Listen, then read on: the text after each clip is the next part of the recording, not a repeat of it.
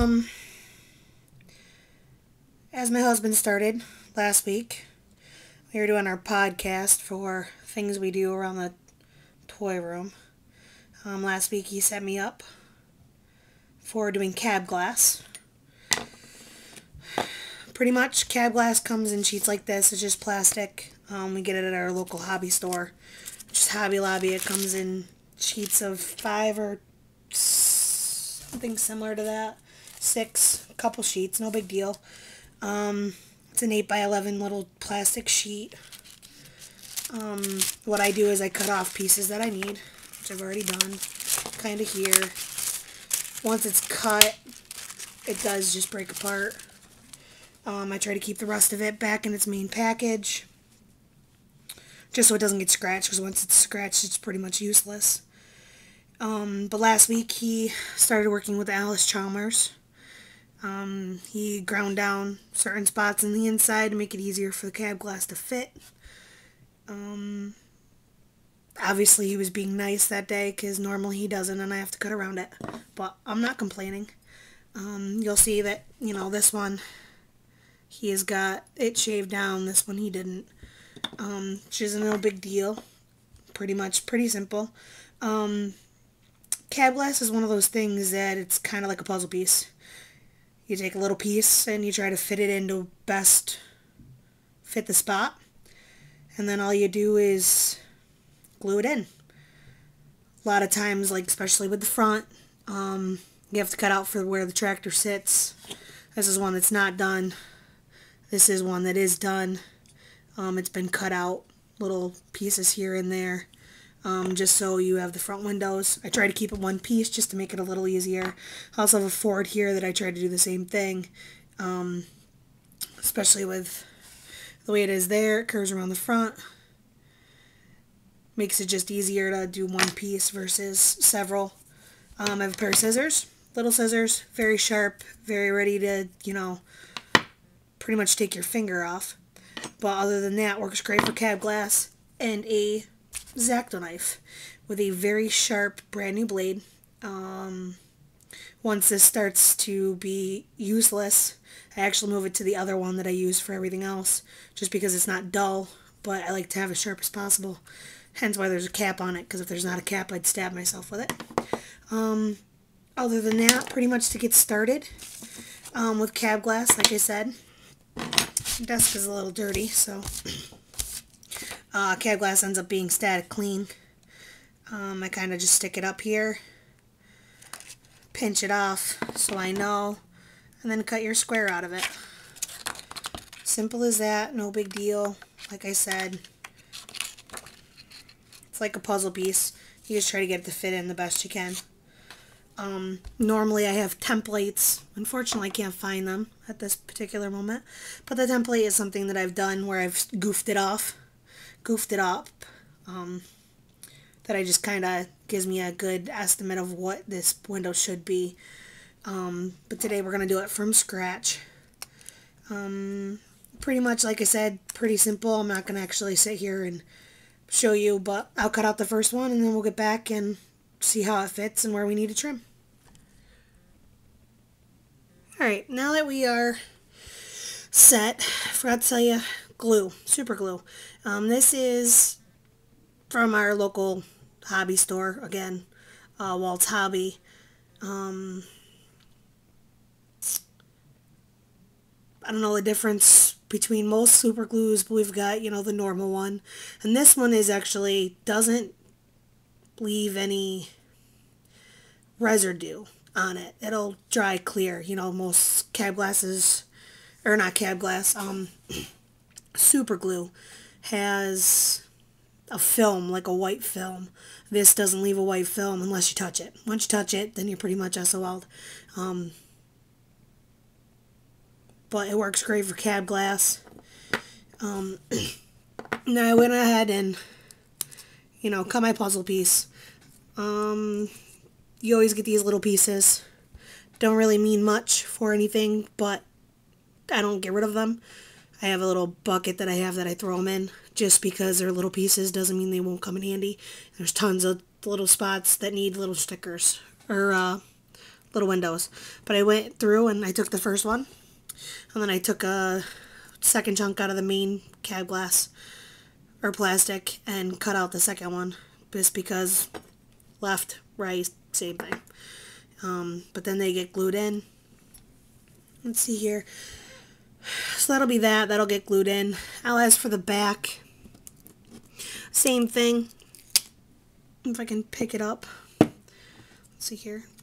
Pretty much it just gets measured in there and cut at an angle. With the back of the Allis though, um, there's nothing to hold it on down here. Um, it's only the top. So what I do is I try to cut it just a tad bit bigger just so the glue has something to hold on to um, because it's gap filling so it'll fill in the gap. Granted you know these aren't intended for toys so any little bit of pressure would pop the cab glass but it at least on the bottom. But it does a pretty good job at you know getting it to stick where it needs to. Um, front again same thing. It's kind of angled funny. It's kind of skinny up here fat and then um, little not as wide as the top or the top's not as wide as down here. Same thing. I'm gonna put it in there. Try to get that done. Uh, once we do that like I said we're gonna show you here and glue the one piece in. With the glue less is more. Um, you don't need a lot. One little drop and I kind of move it all around where it needs to be. And then I fit it in there and push it down. Hold for a couple seconds till it's kind of cured in there and then you leave it go. And then it'll dry the rest of the way and it, you have cab glass. Um, looks good. Everybody likes the detail of having the cab glass.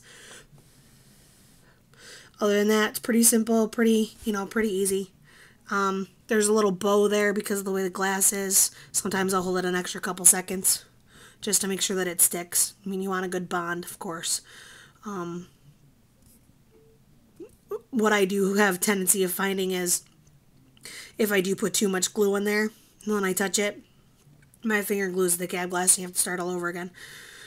But other than that, I mean, pretty simple, pretty easy. Um, once you do all the sides, you have cab glass. Um, like I said, this one's already done. It's got the back right there. You can tell it a little bigger so the glue could stick. Sometimes you even overlap the corner here to, to get it to stay. A little bit of paint, especially if you got a good paint match. Um, you can kind of cover it up if you wanted to. I do that with the Fords. Um, I don't have one here on the desk. I'll find one here in a second. Um, but unfortunately with the front of the Fords, there's nothing really to hold them on the inside. So I could put them on the outside and then paint around them. So you can't really tell that it's there. Add a little bit of um, sealant just to um, hide the fact that it was painted. Simple, easy, looks good.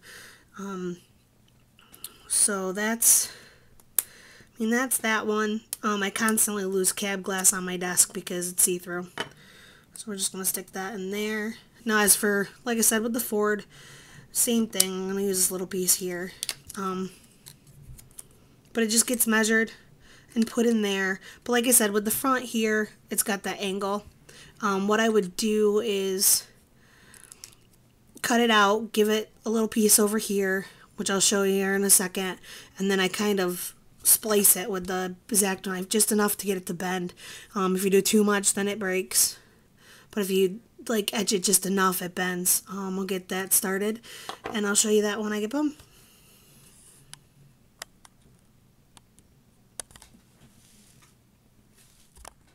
Alright, now that we're back, pretty simple.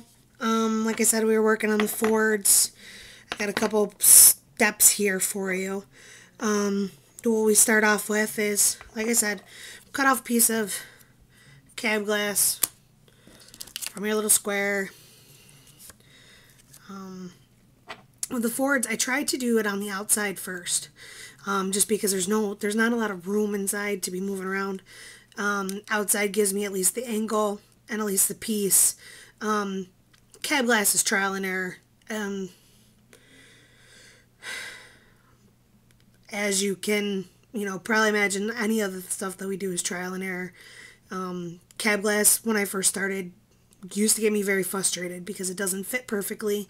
You have to trim. I mean, you'd get it to almost perfect and trim a little too much and have to start all over again. Um, but yeah, that's pretty much that's pretty much it. Um, this one is ready to go. Um, it hasn't been seared yet. Once you sear it, I'll show you that here in a second. You're only going to fold it once. Then you're not going to do it again because what's going to happen is you're going to fold it and you're going to break it. Um, you put the blade um, wherever you cut. So if let's say I cut this side or I flip it over and cut the other side, it's going to fold opposite of the cut. Um, so if I cut this side, it's going to fold down towards the table. If I cut this side, um, then it's, you know, it's going to fold down towards the table. Um, but I flipped it over. Um, so this side has already been ready to go. Um, it fits in this side perfectly. Um, so where we want it to fit in this side, well, I will probably screw it up that, you know, we're working on it this way.